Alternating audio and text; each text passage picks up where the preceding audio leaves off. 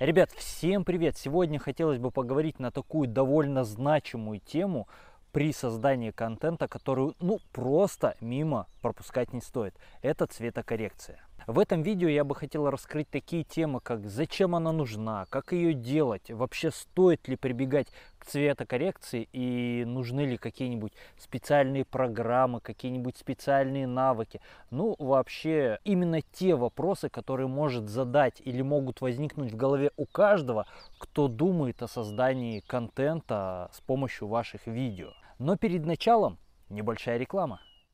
Как же порой бывает сложно подобрать одежду. Многие часами ходят по магазинам, но так ничего подходящего на глаза не попадается. А если речь идет про отличный топ для прогулок, вечеринок, пляжных пати, а также деловых встреч в неформальной обстановке, то такая задача становится почти невыполнимой. Хорошо, что существует бренд Шиктон, а вернее сказать кроп-топ с длинными рукавами от этого бренда. Ткань этого топа приятная телу, а в процессе носки не скатывается и не дает усадки после стирки. Но самый большой плюс заключается в том, что этот топ можно заказать не выходя из дома через Wildberries. Ссылка будет под видео в описании, переходи и делай правильный выбор. Я не буду раскрывать эту тему, как написано в учебниках и как рассказывают на курсах различные лекторы. Я расскажу своими словами, как лично я это понимаю и как я это вижу. Ну, во-первых, что дает цветокоррекция? Она дает качество изображения. То есть, смотрите, сейчас вы видите видео, которое с цветокоррекцией. А сейчас эта же самая картинка, но уже без цветокоррекции. Думаю, визуально даже заметна разница. Также, когда нужно прибегать к цветокоррекции, а когда нет. Если у вас какая-нибудь профессиональная студия, у вас хорошее оборудование, которое вы знаете, как настраивать. Я имею в виду настройки камеры, настройки видео, настройки видеозаписи то вам цветокоррекция, скорее всего, не потребуется. Ну или, возможно, самая малость, лишь только для того, чтобы подчеркнуть ваше видение этого видеосюжета. Но чаще всего мы снимаем видео на свои телефоны, и хоть у нас и есть даже функция, вкладка профессиональные настройки, не все ими пользуются и снимают просто в обычном авторежиме.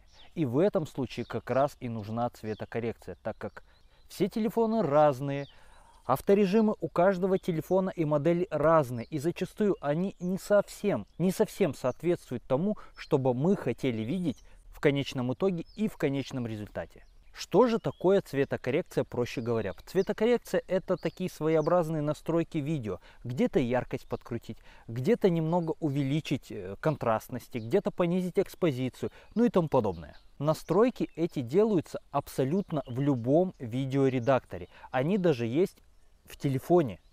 То есть видеоредактор, встроенный в телефон, там тоже есть настройки цветокоррекции. Это уже говорит о том, насколько важен факт цветокоррекции в ваших видео. Если же вы хотите снимать какие-нибудь красивые закаты, красивые пейзажи, что-то на природе, обязательно учтите то, что цветокоррекция, она подчеркнет ваше видение вот этой красоты, которая нас окружает. Ведь именно благодаря видео мы способны передать наше видение мира и того прекрасного, как, э, ну, что, что мы видим.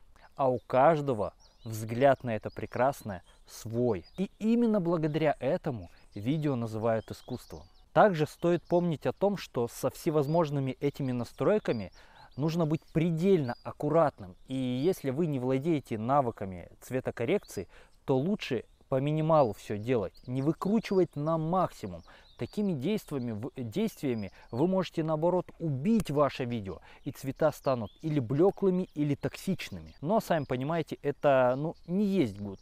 Поэтому не забывайте о важности цветокоррекции, о ее правильном применении. Ну и вот вам буквально несколько примеров видео с цветокоррекцией и без нее.